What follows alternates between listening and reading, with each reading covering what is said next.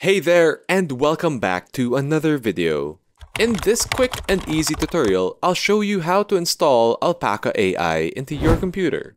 So firstly, we're going to be using github.com in order to find all the files for Alpaca AI. Just copy the link as found here in this video to see all the files you need to download to install Alpaca AI. For this one, we're going to be installing version 1.0.5, which is, at the moment of this video, the latest version of Alpaca AI.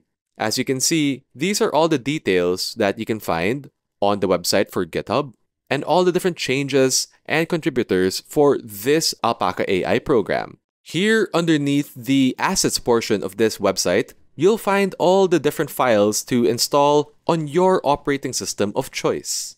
So make sure to download the correct installer for the operating system you wish to use. Now, once that's downloaded, go ahead and click on the Open feature to start the application setup process.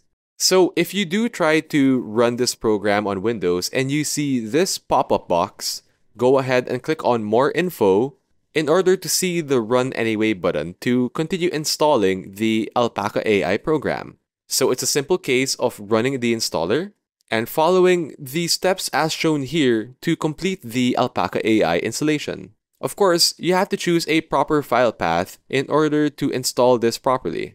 Once you've chosen a proper file path and everything, go ahead and click on confirm. And there you go. You now have Alpaca Electron installed in your computer. This way, you can access a local AI chatbot without being connected to the internet. So if ever you need an AI linguistics platform, well, you have one at any time, anywhere. And that's really all there is to installing Alpaca AI through GitHub onto your Windows computer. Thanks so much for watching guys, and if you have any other questions or queries, as usual, feel free to leave a comment down below. Also, don't forget to like and subscribe for more content just like this one.